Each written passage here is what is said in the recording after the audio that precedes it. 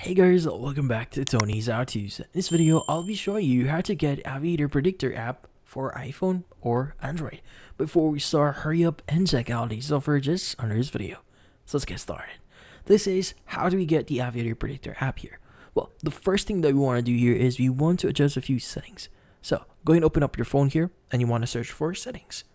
Now in here, what we need to do is we need to use the search settings option at the very top.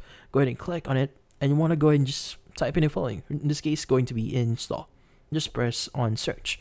Now, what you're looking for is going to be the install unknown apps option. Let's go ahead and click on it. Now, in here, click on install unknown apps. And in here, what we need to do is we need to look for the browser that you usually use, which in this case is going to be the browser that we'll be using to search for the APK or the installer for the Aviator, Aviator Predictor app this case, you want to go ahead and scroll down a bit here. So in my case, I actually am using Chrome here. So this case, just let's go and search for Chrome, click on it, and make sure that you allow from this source. So in this case, you want to go ahead and turn on this setting here. Now once you've done that, you want to go ahead and exit and open up the browser. Now from here, you want to go ahead and search for the following, which in this case is going to be the following keywords. So it's going to be aviator predict or app. Just press on search.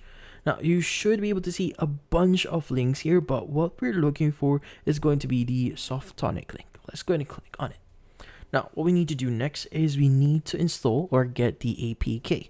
So let's go ahead and click on the free APK download. And it should show you a bunch of ads here. So if you do see one, you can go ahead and let it pass. Just click on the X at the top right here, and it should redirect you to the download section. So wait for it to complete.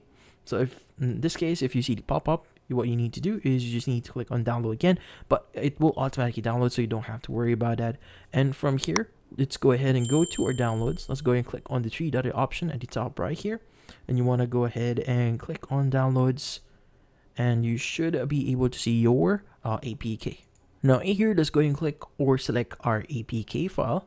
Click on it and you want to go and choose the option that says APK installer or in uh, package installer.